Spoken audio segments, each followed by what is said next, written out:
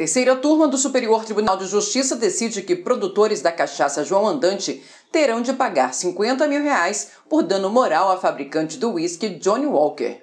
O colegiado reduziu de 200 mil reais para 50 mil a indenização por danos morais que os produtores da cachaça João Andante terão de pagar por violação do direito de marca da fabricante do uísque escocês Johnny Walker.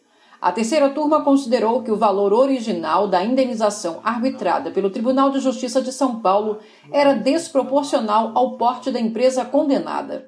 O caso chegou ao STJ após a Diageo Brands BV, líder mundial na produção de bebidas, e sua subsidiária Diageo Brasil Limitada, ajuizarem ação para impedir a utilização da marca João Andante e de suas variações na designação de bebidas destiladas. Elas também pediram a reparação dos danos causados pela reprodução indevida de sua marca.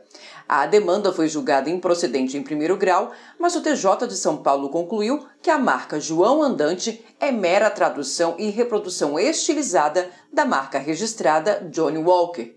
Para o tribunal ficou configurada uma paródia desautorizada que gerou enriquecimento sem causa aos proprietários da cachaça, os quais teriam tentado fomentar os negócios com base no prestígio da marca alheia em associação parasitária.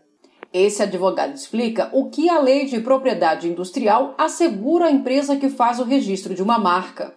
Primeiro, o direito que essa pessoa, que essa empresa que está registrando, vai ter de usar a, a marca em associação com seus produtos ou serviços.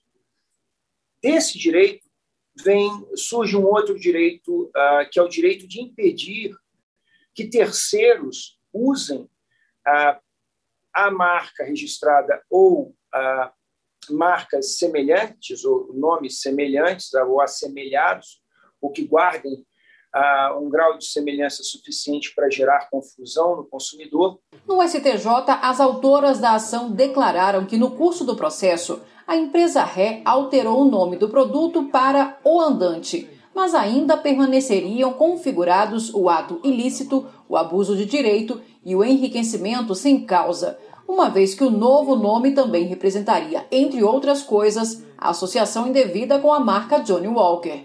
O relator do recurso, o ministro Paulo de Tarso Sanseverino, afirmou que o direito de utilização exclusiva da marca, reconhecido pelo TJ, não abarca a variação adotada pela empresa Ré uma vez que o registro da marca não permitiria à fabricante de uísque se apropriar da expressão isolada andante.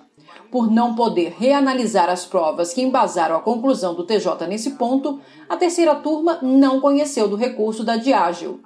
Por sua vez, a empresa Ré também recorreu, alegando não ter havido ato ilícito, pois proibida de utilizar o nome João Andante por decisão judicial, acatou a determinação. Ao examinar o recurso, o ministro ressaltou que a proibição de utilização de marca registrada por terceiros decorre diretamente de lei e não de decisão judicial. Assim, o recurso da ré foi provido apenas para reduzir o valor da indenização.